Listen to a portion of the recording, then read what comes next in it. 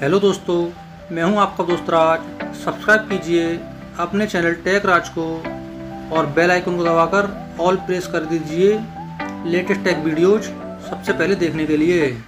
नमस्कार दोस्तों, स्वागत आपका मेरे यूट्यूब चैनल पर।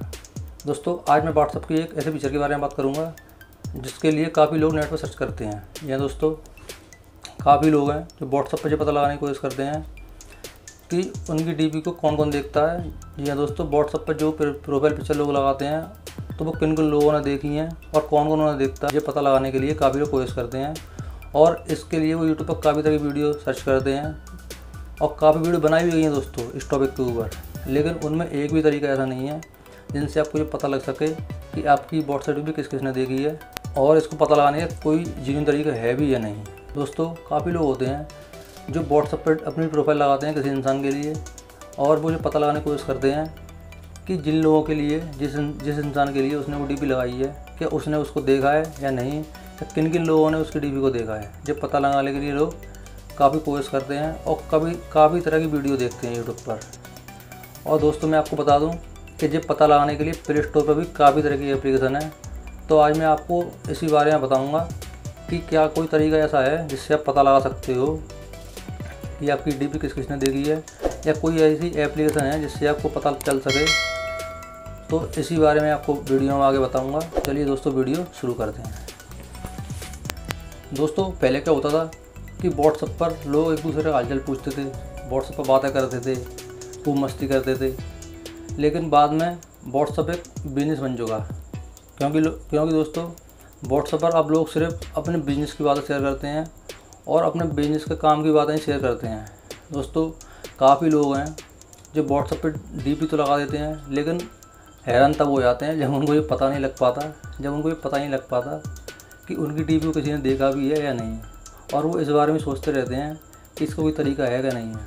तो दोस्तों प्ले स्टोर पर बहुत सी एप्लीकेशन है इसको पता लगाने के लिए।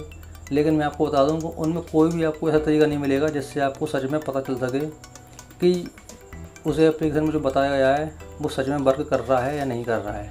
आप सिर्फ़ भ्रम में रह जाओगे और कुछ नहीं।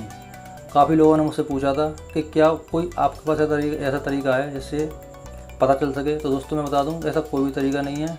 और जो एप्लीकेशन आपको प्ले स्टोर पर दिखाई देती हैं, जो पता लगाने वाली, जो आपको यूट्यूब पर वीडियो में बताई जाती हैं कि ये डाउनलोड करो, वो डाउनलोड करो, इससे पता लगा सकते हो। तो दोस्तों, मैं आपको उन एप्लीकेशन का वर्क के बारे में बताता हूँ। कि उन एप्लीकेशन का क्या वर्क होता है, वो क्या काम करती हैं और उनका क्या सीन होता है यूट्यूब के अंदर। दोस्तों, मैं आपको बताता हूँ। उससे पहले मैं आपको बता दूँ कि आप किसी और का व्हाट्सअप कैसे चला सकते हो, या आप अपनी व्हाट्सअप की चैट या अपने पर्सनल मैसेज जो होते हैं आपके व्हाट्सअप के, उन्हें कैसे ऐड कर सकते हो।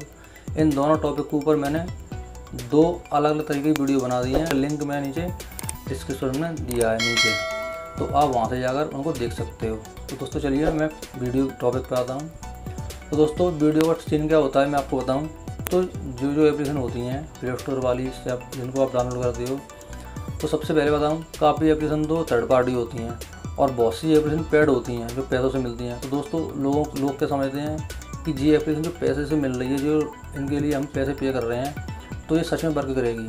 इसमें कुछ खास है, चलो इसको पे करते हैं, इसको डाउनलोड करते हैं। तो लोग उसके लिए पैसे ही बर्बाद कर देते हैं।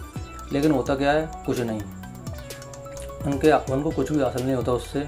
उनका सीन क्या होता है, वो आपको मैं बताता हूँ। मेरे दोस्तों, देखिए क्या होता है कि हमारा जो व्हाट्सअप होता है, वो गूगल से लिंक होता है, यानी गूगल अकाउंट से लिंक होता है। तो जो भी आप बातें करते हो किसी से व्हाट्सअप पर, जो भी मैसेज करते हो या आपके पास जो भी मैसेज आते हैं, वो आपके गूगल से गूगल में आके सेव होते हैं गूगल ड्राइव में आके।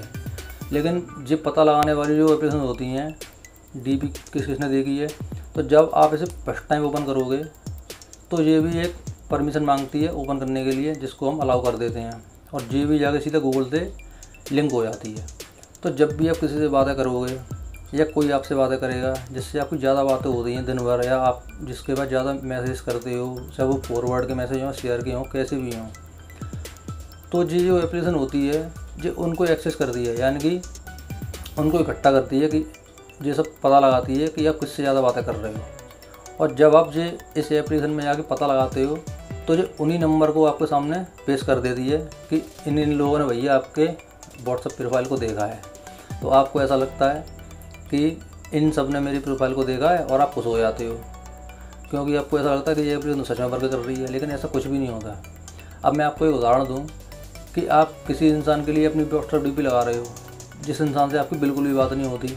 लेकिन नंबर आपका उसके पास है और उसका आपके पास है, लेकिन बात बिल्कुल नहीं होती। तो आप ये चाहते हो कि मैं एक डी लगाऊँ और मैं ये देखूँ कि उस इंसान से मेरी बात तो होती नहीं है, क्या वो मेरी डीपी को देखता है या नहीं देखता है, जब मैं चेंज करता हूँ तब?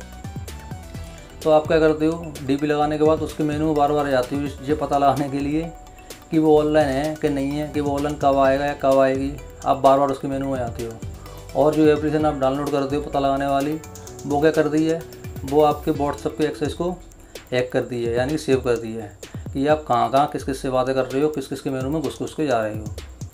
तो जब आप उस जिस इंसान को पता लगा रहे हो कि वो ऑनलाइन है कि नहीं है बार बार जा रहे हो तो वो उसको एक्सेस करके अपने अकाउंट में सेव करेगी और जैसे ही आप पता लगाने की कोशिश करोगे, सबसे पहले उसी का नंबर आपके सामने पेश कर देगी, क्योंकि आप उसी अकाउंट में सबसे बार बार जा रहे थे, क्योंकि आप उसके अकाउंट में सबसे पहले बार बार जा रहे थे। तो आपको बहुत ज़्यादा खुशी होगी कि यार इससे मैं बिल्कुल बात नहीं करता और जो तो मेरे प्रोफ़ाइल को देखता है या मेरी प्रोफ़ाइल को देखती है।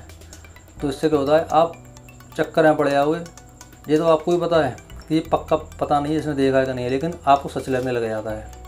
तो दोस्तों बता दूँ कि ऐसा कोई भी तरीका नहीं है जिससे आप पता लगा सको कि व्हाट्सअप डी आपकी किस किसने देखी है और कौन कौन देखता है और कितनी बार देखता है। ऐसा इसका कोई भी जीवन तरीका नहीं है।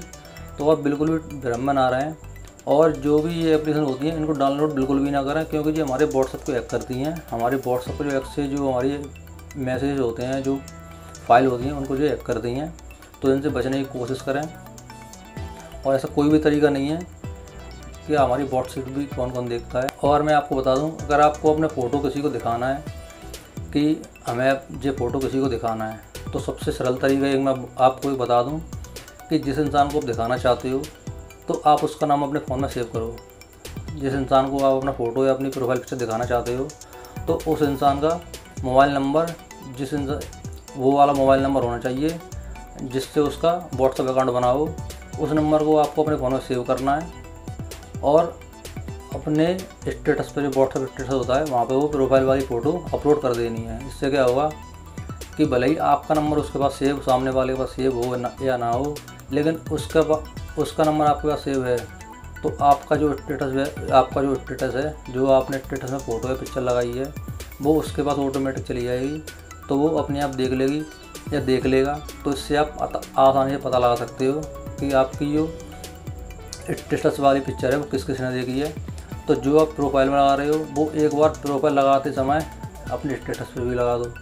उससे आप क्लियर पता लगा सकते हो कि आपकी व्हाट्सअप या प्रोफ़ाइल पिक्चर किस, किसने देखी है। तो यही एक तरीका है जो मेरी नज़र में है। बाकी कोई और तरीका नहीं है दोस्तों, ये पता लगाने का। तो आप बिल्कुल भी इधर उधर ना भागें और ना ही कोई एप्लीकेशन डाउनलोड करें जिससे आपका टाइम भी ख़राब ना हो और ना ही कोई व्हाट्सअप वगैरह हैक हो और कोई भी आपके पैसे भी नहीं हैं। तो उम्मीद करता हूँ आपको ये वीडियो काफ़ी ज़्यादा अच्छी लगी होगी। अगर मेरी वीडियो अच्छी लगे तो शेयर करें दोस्तों में। और अगर आप मेरे चैनल पर पहली बार आए हो तो आपका बहुत बहुत स्वागत है और इसे सब्सक्राइब करें। मैं फिर मिलता हूँ ऐसे ही किसी और अच्छी वीडियो में तब तक के लिए जय हिंद बंदे मातरम।